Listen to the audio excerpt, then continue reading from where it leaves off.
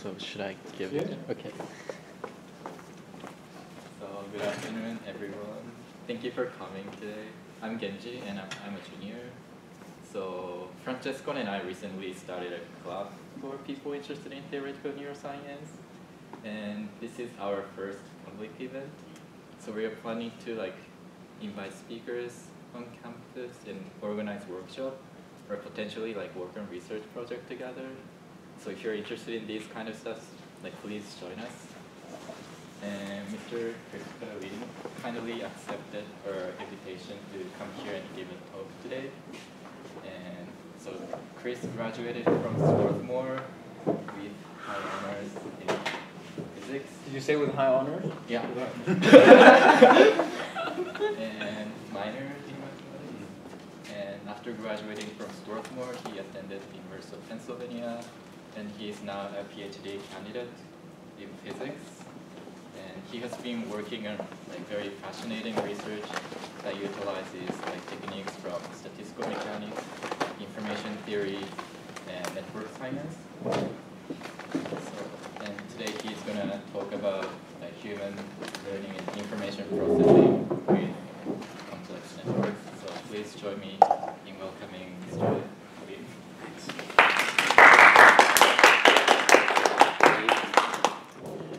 Big thanks to Genji and all of y'all for having me here. It's a lot of fun to come back and. Um, so as Genji said, I graduated in 2014. Um, I was a double physics and math major.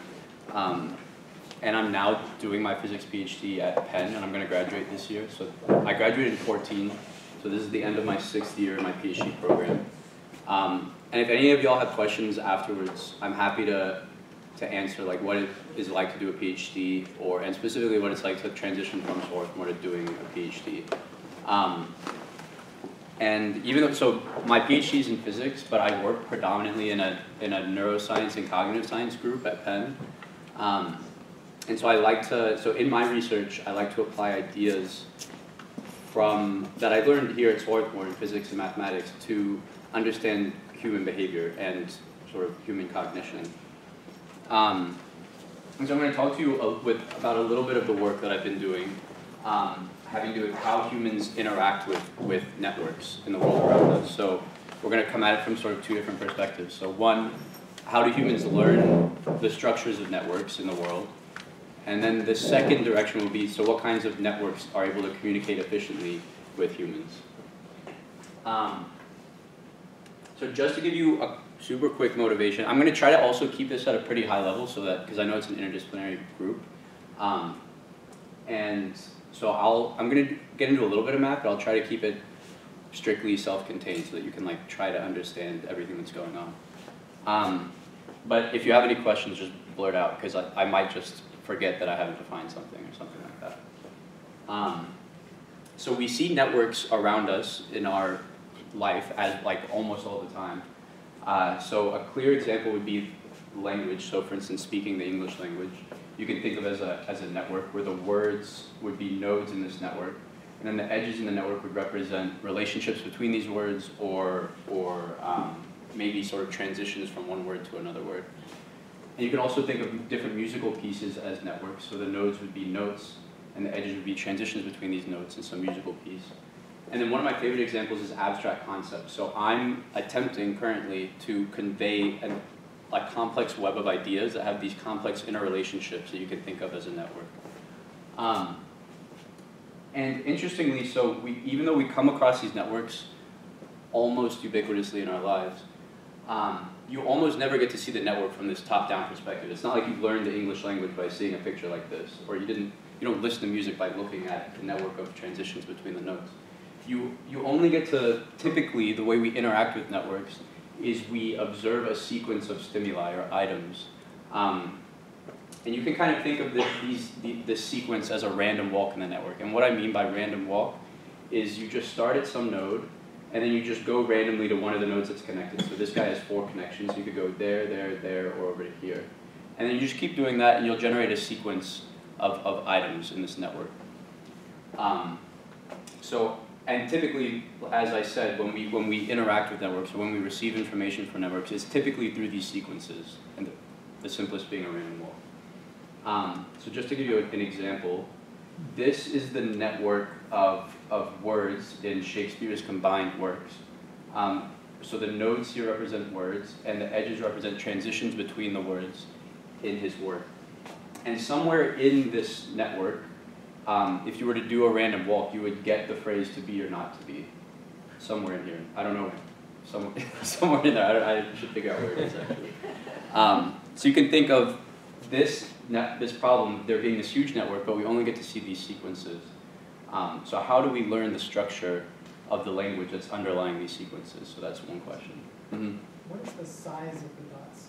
What do they represent? So the size, that's a good question. So the size of the dots here represent the number of connections that the node has, or what you call the degree of the node.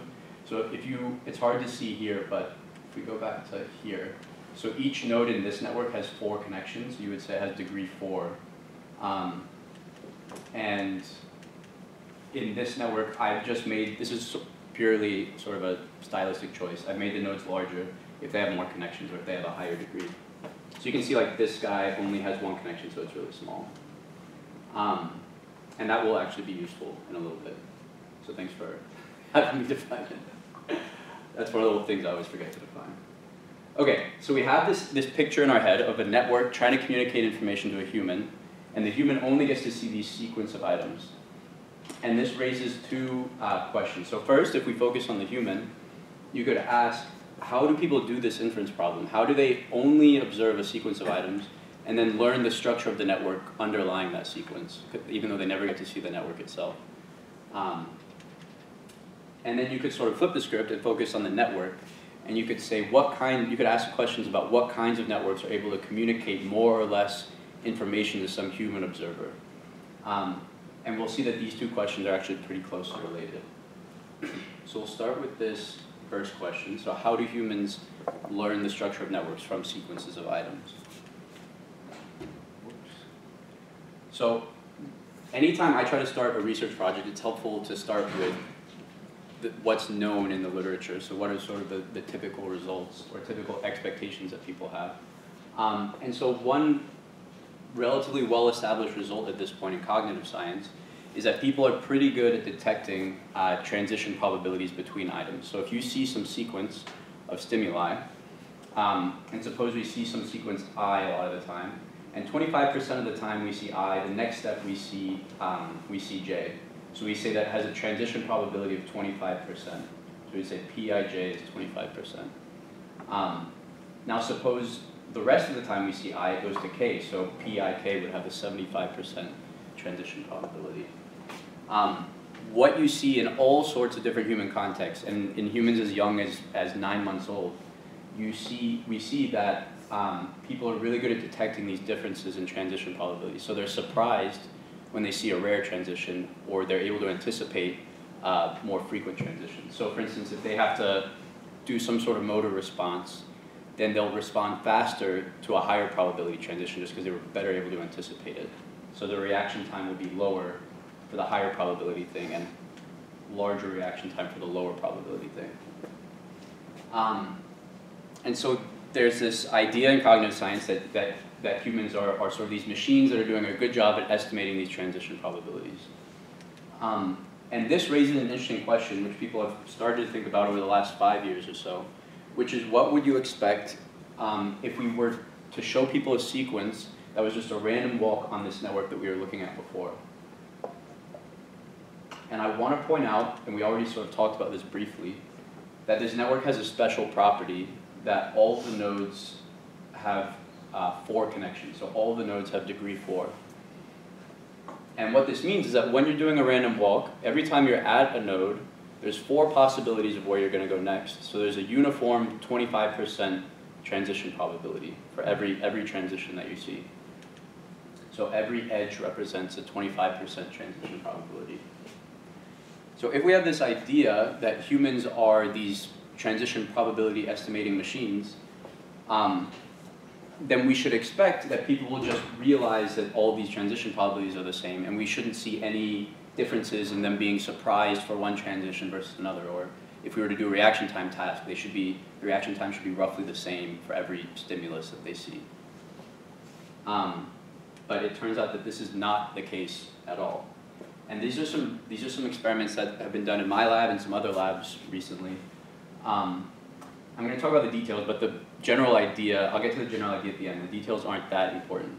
Um, but for example, what one, one effect that we see is that uh, people are more surprised when they, when they witness one of these transitions across one of these clusters than they are when they see a transition within one of these sort of clusters of nodes. So for instance, their reaction times would increase when they go from this node to this node. But if they went from this node to this node, it would be roughly, there would be much, a much faster reaction time. Um, and what this means is that people are somehow systematically over-predicting the probability of a within cluster transition, and they're systematically under-predicting the probability, or they're surprised by one of these transitions across clusters. And you can, there's other effects that you can show. So for instance, if you just average people's behavior overall in random walks in this network versus some other network. So this network, these networks are, are random, but still have that same property that all the nodes have four connections. So all the transitions in this network still have 25% probability. So we should still not expect any differences in behavior across these networks. Um, but you see that people in this more structured network are better able to anticipate what's coming next than in this network, in these random, randomly organized networks. You might talk about this more, but in terms of the way in which you are having participants interact with these networks, is it visual? Yeah, yeah. So I, I wasn't, I, I actually have an extra slide describing the experiments, but the, the, I, yeah, the general idea of the experiment is that you have someone sitting at a computer, they see some stimulus, um, and then they have to respond by pressing keys on a keyboard. And so each, each node in the network is a given stimulus, and then that elicits a response. So as they are seeing the sequence, they see it like a, a stimulus, they respond, then they see the next one, they respond. So if they respond more quickly, we say that they're better able to anticipate like what's coming next.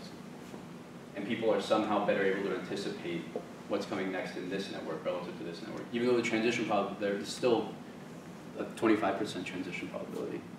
I think this is a very related question, but so like for a network like this, like the layout matters, just not like which nodes are connected to other nodes. Yeah, yeah, Because exactly. like those two, okay, because those two would be exactly the same, except for the, yeah. Yeah, exactly. Yeah, so that's the interesting thing is that so the if you're at one at one node in either of these graphs, if you just focus on one node, so we could focus on this node, there's four possible places you could go next. Um, and that's true in this network as well. But somehow people are just more able to, better able to predict what's about to come next in this network than in this network. So something about this, the bigger structure of the network is helping people anticipate what's coming next. Just to understand a little bit more, because, so, because it- each node has four connections, is it true then that in terms of the amount of time spent within each cluster Mm-hmm. with a random walk, are, is, is the time spent in a cluster kind of coherent and then there's a lower probability it'll go to another cluster? So you could you could say it is true that if you're at say this node, then there's a three over four probability of going back into the cluster and a one over four going along this one edge. Um, so that's true. You're always more likely to stay in the cluster than to go across. But to anticipate the specific stimulus is still just 25%.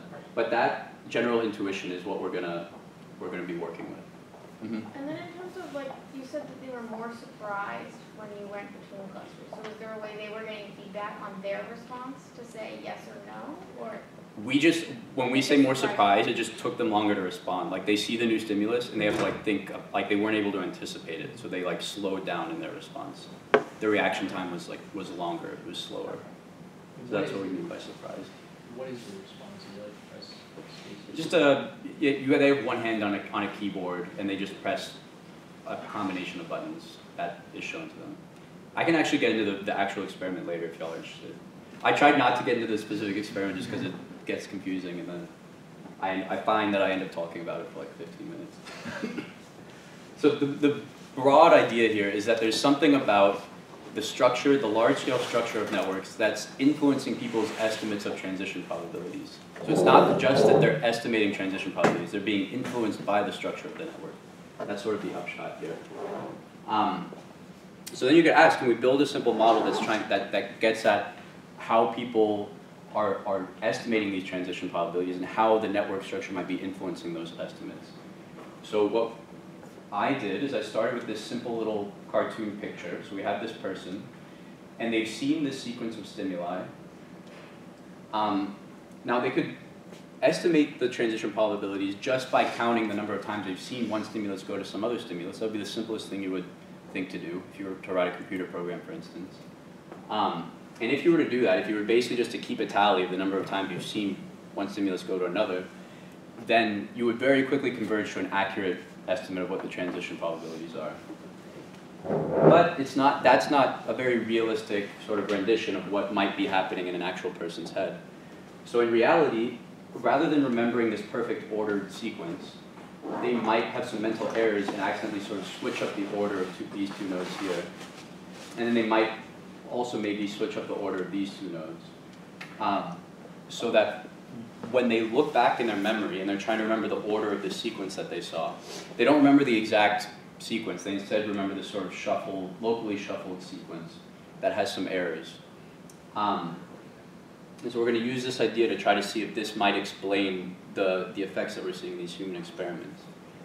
So to be a bit more quantitative, what we need is a distribution um, that describes how far a node sort of gets shuffled in someone's memory. So here, delta t on the x-axis is just how far does a node drift in someone's memory from where it actually happened in real life. Um, and then q is just the probability of that happening. So with some high probability, you get a delta t of zero, so the node stays exactly where it, it actually happened. And then some lower probability, the node shifts one space, some lower probability shifts two spaces, and so on and so forth. Um, now, in order to make any sort of quantitative prediction, we need to derive somehow a mathematical form for what Q is. Uh, and this, this is going to be the most intense math that we're going to have. But I think it's useful to see just because it helps to see how you can like apply ideas from math and physics or even linguistics or computer science um, to, to sort of formalize your hypotheses. Uh, and what we're going to do is we're going to use tools from statistical mechanics. But if you haven't studied statistical mechanics, it's going to be, I'll be able to explain it in words anyway, so it's still understandable. Um, so the hypothesis we're going to work with is we're going to say when the brain is choosing what Q is, what this distribution is, it's going to try to it's trying to balance two pressures. Um, and this is sort of like a, an overarching theme in, in parts of computational neuroscience. Um, it's known as the free energy principle. And the general hypothesis is that the brain is typically trying to balance uh, the pressure, two pressures. So one pressure is to minimize errors in what it's trying to do. And the second pressure is to minimize the complexity of, of what it's trying to do. And you can see that those would be sort of competing forces. You could do something very complex and have very low errors, or you could have very high errors and do something really stupid and very simple. Um, but we need to write down mathematical forms of what we mean by that. So for errors, all I'm going to do is write down the average that distance that a node drifts. So this is just the average delta t. This is how far an average does a node drift in someone's memory. Um, and here for complexity, what we're going to use is the negative entropy. And just to give you an intuition, you can think of it purely in terms of words and, and pictures. So if, if Q is high entropy, that means that it's very flat and equally distributed across all the delta t's. So this would look like a straight line here. So that's, that would be a high entropy distribution. And what that would mean is that if I asked you what node happened at time t, it would be completely shuffled somewhere in, in your memory. So you would throw your hands in the air and you'd say, I don't know what node happened at time t. And that would be a very low complexity thing to do, just always saying, I have no idea. That's the simplest thing you could possibly do. So high entropy, in, in this case, represents sort of low complexity. Um, and on the other side of the coin, if you have if you have a low entropy distribution, so if Q is low entropy, then it would be a spike right here at zero and then flat. And what that means is that with 100% probability, you, you remember the exact order of the sequence. And that's like the most complex thing you could do. You'd be like a computer. You just always remember the exact order. So so that means that low entropy would be high complexity. So that's the justification for quantifying complexity as the negative entropy. Mhm.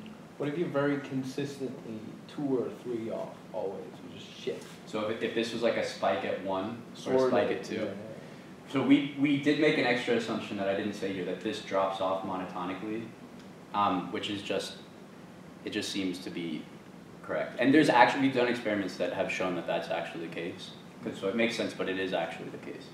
So uh, if the complexity is high, it's, the most likely thing is that the spike is gonna be at zero and not somewhere else. Yeah, yeah, yeah, it's, yeah, they'll just remember exactly where something happened. Yeah. Yeah. So all you do here is you say, let's write down a total cost. So you just combine these two costs and you just add them together. Um, except we include this one new parameter. So this is the only parameter in the entire model. Um, and it simply represents, you can think about it again as just, as just the accuracy of, of someone's, of someone's learning, of their, of their learning algorithm. So for example, if, if beta is high, then they're gonna try to minimize these errors, um, and they won't care about complexity. If beta is low, then they're gonna try to minimize this term. They're gonna try to minimize their complexity without regard to errors.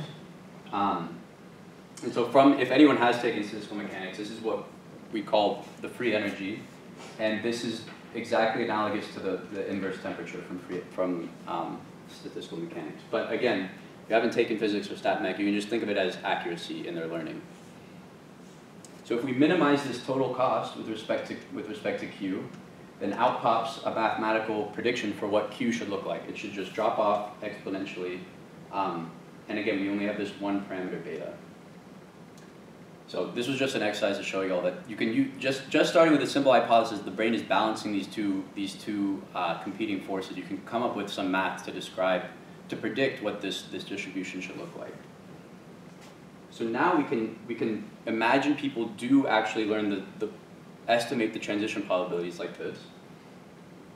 And we can go back, we can go back to the network that we were looking at before. We can say, what does the network that people learn look like in their, in their head? So again, we have this one parameter beta. So if we look at high beta or high accuracy, um, they're very accurate. So this again is a peak at zero, and people just remember the exact order. And if they remember the exact order, they're acting like a computer, and they'll just eventually exactly learn the, the, um, the transition structure. So they'll exactly estimate what the transition probabilities are between all the different nodes.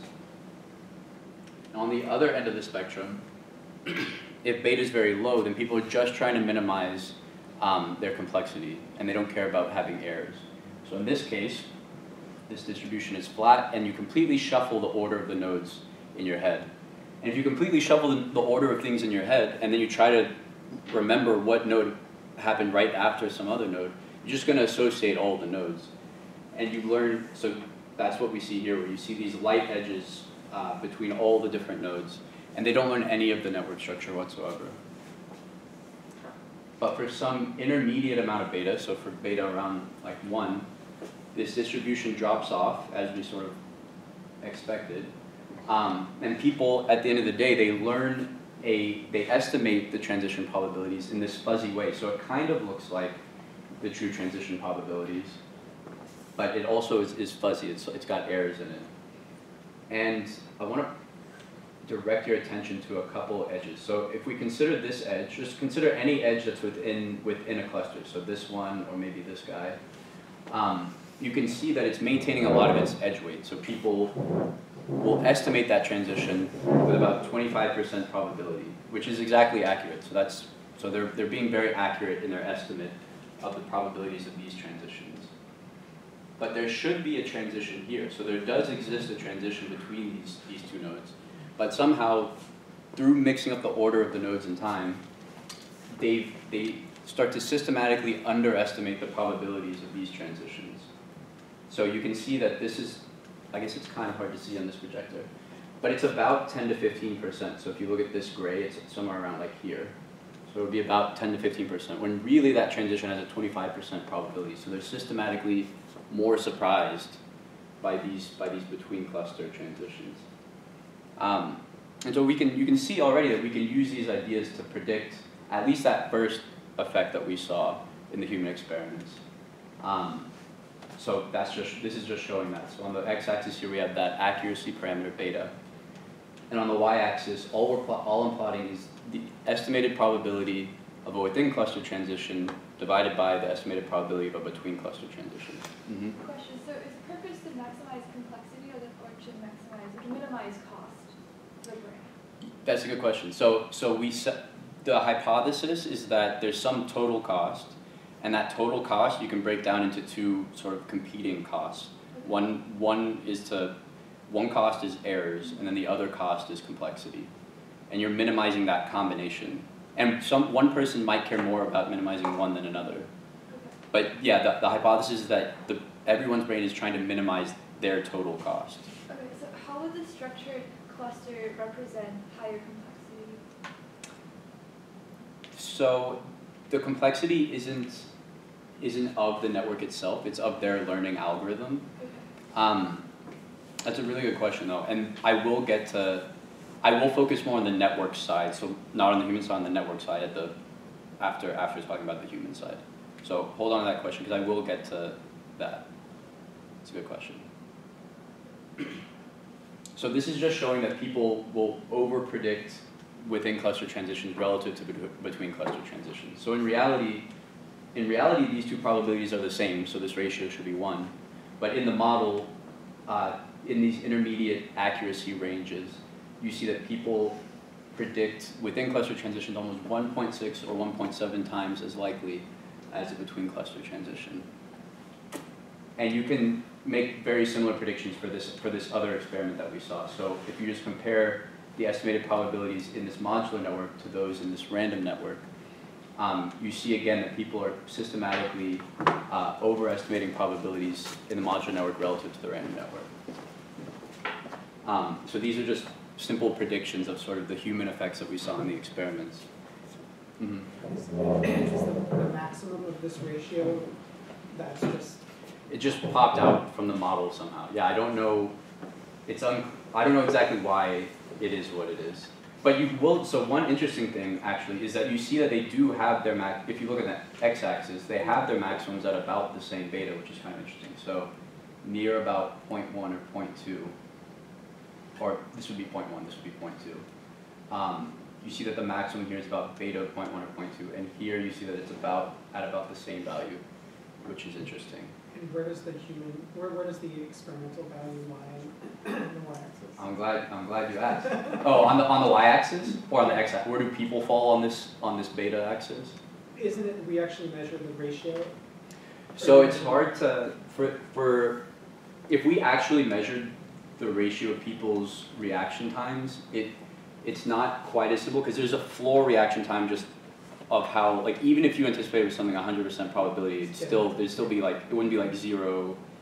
Um, yeah, it wouldn't be zero reaction time. So it's it's not quite as easy to just divide those. So you can talk about just differences in reaction time, and you see a difference in reaction time of about 30 milliseconds on average uh, between between for in sort of in both of these cases. This case it's about 40 milliseconds. This case it's about 20 milliseconds difference. But the in terms of estimating people's betas, that's actually the last thing that I was going to talk about with regard to this. So this is actually just kind of a fun side note. So you could ask, we've talked a lot about this one parameter beta, how accurate are people's sort of learning? And it turns out that you can go back to the data and actually estimate it for individual people. So you could take one person's data, so you look at their behavior, and then you can say what value of beta in our model best predicts their, um, their behavior. This is it's just like fitting a line, like what value of the slope best fits the, some, some scatter plot. You can ask a similar question, which is what value of beta best fits these, the human behavior that we're seeing. Um, and, and, and then for each person we say, well, this value of beta best describes this person. And what we see here, this is what I'm plotting here is the distribution over betas among our subjects. We had about 360 subjects. Um, and what you find is that about 20% of people behave as if they have a beta of zero. So they're completely inaccurate. They're completely shuffling the order of things in their head. They're acting like a rock. They're not learning anything. Um, And on the complete other side of the spectrum, you see that about 10 to 15% of people behave as if they have a beta approaching infinity. So they're acting like a computer, which we've gotten actually questions asking if there are computers taking our experiments, which is actually an issue because these are all online. So it could have been some computer like doing experiments. Uh, but something like the vast majority, so about 65 per- or 70% of the people lie in this intermediate range. Um, and among these intermediate people, we find a mean of about 0.3, which you can see is near sort of this maximum. It's about there.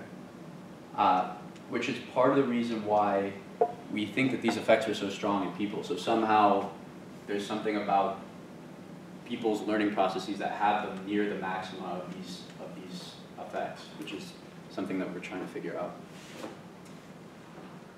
So, this is a quick intermediate point, if anyone has any questions about that bit. We're gonna shift and focus more on networks now and not as much on the human. So we answered these, so we have this picture again, where we have a network, and now we know what Pij is, it's just the probability of transitioning from some item i to some other item j. And then you have some sequence that the, that the human observes, and they, they're, in their head, they're estimating what these, these transition estimates are, or these transition probabilities are. So we asked this question, how do people estimate these transition probabilities, or how do they learn these networks? Um, and we now have a model, so we have a model for p hat for what's going on in people's head. Uh, so you can sort of switch what you're thinking about now, and, and instead of focusing on the human and how they're estimating what Pij is, you can, you can ask, well, what kinds of networks, what kinds of network structures communicate more or less information to a human observer, or are able to communicate more efficiently to a human? Um, and this is the question that we're going to answer right now. So, it turns out, so we have this, we have this question that we're interested in. How much information does a network communicate to a human observer? And it turns out that a very closely related question actually lies at the heart of what's known as information theory. Um, so information theory is, is, was sort of developed, the simplest reading of history says that information theory was developed all in one fell swoop by this guy, Claude Shannon, in 1948. He wrote arguably the coolest paper ever, um, where he basically invented this whole theory and most of the tools that are still used today in one paper. Um, and he was, the, the, he had a lot of questions in mind, but the primary question that he was trying to ask or answer was how much information does a network, or not a network, how much information does a sequence of items produce? And we've already seen that you can think of a sequence of items oftentimes as just a random walk on a network. So an equivalent question is, how much information does a network produce when it's generating these sequences of items? Um, and what Shannon showed is that the answer to this question, how much information is a network producing, is just the entropy of, of the network, or the entropy of this random walk. Um, and I, again, just to be a little bit mappy, everyone gets, I think, scared by entropy a lot of the time, at least I know I was in college. But it's really simple, it's just minus the log of the probability, um, which is all you gotta remember. Everyone says p log p, just remember minus log of probability, and then these brackets just mean an average. So you just average over the whole